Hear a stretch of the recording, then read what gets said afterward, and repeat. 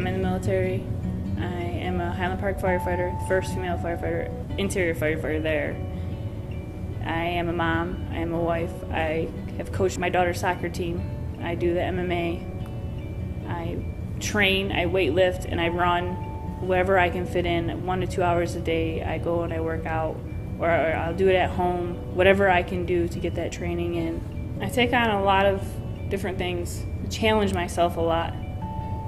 Uh, one for myself, like I said, you only have one life, and I don't want to regret anything.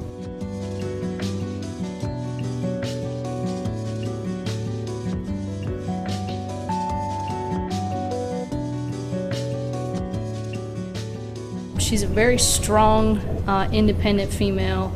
Uh, E6 right now, as far as uh, military style, she's very structured, um, very black and white. Um, she's willing to bend over backwards to work with you and to do anything for her soldiers or help anybody.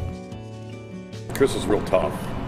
Uh, aside from being, she's born physically something going on with her that she's too strong for how she looks. Uh, I don't know. I know even back then she had about a 205 pound bench press. Uh, she was squatting like 300 something pounds.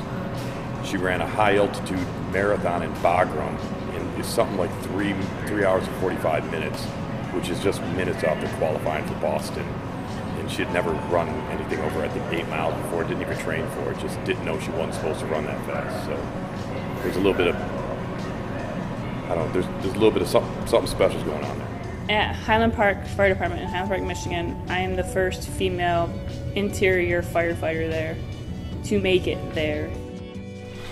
If you're gonna be in this service, you gotta be able to help each other out. You can't just be in it to look pretty.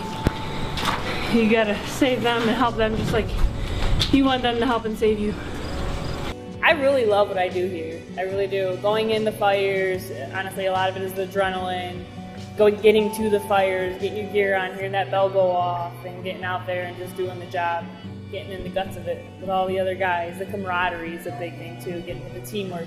I think that's a big thing too with the police, military police, and then having the fire service is the camaraderie and the way everybody just builds and the cohesiveness between everybody is what drives me as well. I, I think it's excellent because um, she's living out a lot of dreams that a lot of people want to do.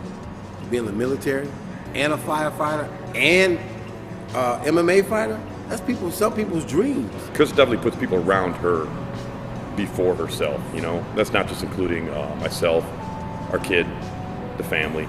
She puts the soldier first.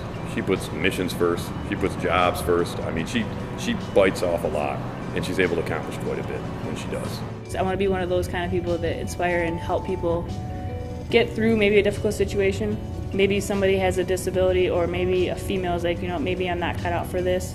But show them maybe you are. You just got to work a little bit harder and know what you want to do. Be, I don't know, be the best that you can.